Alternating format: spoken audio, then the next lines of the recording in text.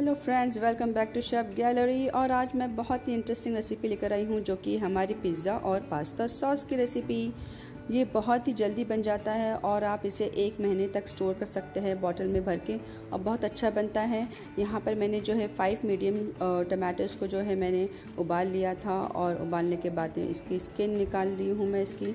इसको पील कर देंगे पूरी तरीके से और इसे बारीक बारीक हमें चॉप कर देना है। चॉप करके जो है हमें इसे मिक्सर में पीस लेना है इसे प्यूरी फॉर्म में।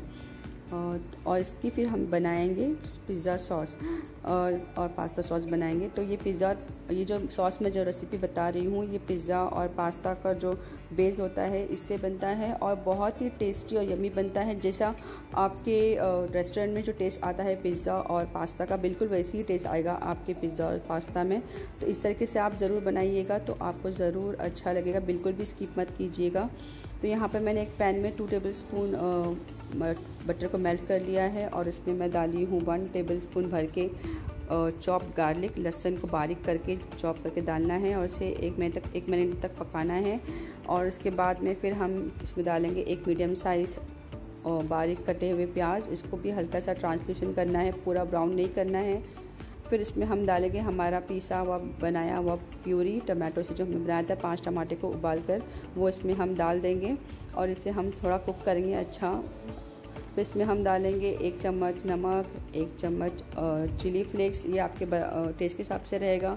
फिर वन टीस्पून ऑफ़ काली मिर्च वन टीस्पून ऑफ़ औरगेनो और वन टेबल स्पून भर के विनीगर डालेंगे। विनीगर से क्या होता है कि ये आप इसे लॉन्ग टर्म तक आप स्टोर कर सकते हैं एज अ प्रिजर्वेटिव काम करता है।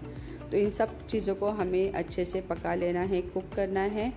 फिर इसके अंदर हम डालेंगे हमारा वन टेबल स्पून भर के टमाटो केचप इससे जो हमारे सॉस का जो कलर जो है, बहुत ही रेड अच्छा हो जाएगा और इसका जो टेस्ट भी है वो डबल हो जाएगा। फिर इसमें लास्ट में हम वापस से one tablespoon of butter डालेंगे और इसे हम पकाएँगे। जब तक हमारा सॉस में से ऑयल रिलीज़ नहीं हो जाता, तब तक हमें इसे पकाना है। फिर इसको जो है, ये देखिए हमारा जो सॉस जो है वो रेडी हो चुका है। अब जो है इसे बॉटल में भर लेंगे और इसे एक महीने तक हम इसे यूज़ कर सकते हैं। एज अ पिज़्ज़ा बेस और पास्ता में सॉस डालकर इसे यूज़ कर सकते हैं।